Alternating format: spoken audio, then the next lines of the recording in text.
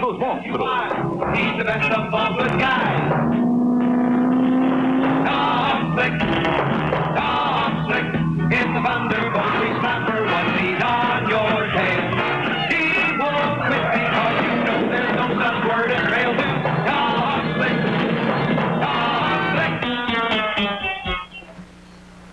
Aqui nas costas banhadas de sal do Mediterrâneo fica Monte Carlo, palco da corrida anual que atrai os maiores volantes do mundo. Infelizmente, nossa história começa longe de Monte Carlo, nas alturas sombrias dos Alpes da Transilvânia. Aqui nas encostas banhadas de lua fica Monte Carlope, também palco da corrida anual de monstros de Monte Carlope. Botando farol de milha na caranga, Tom. A corrida de monstros começa à meia-noite, quando tem lua cheia, Maria. Mas, Tom, tem certeza que deseja competir nessa corrida monstruosa?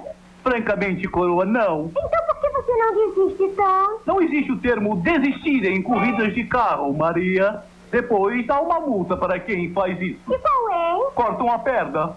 Vejam, é o próprio príncipe Monte Carlote. Quem está ao lado dele?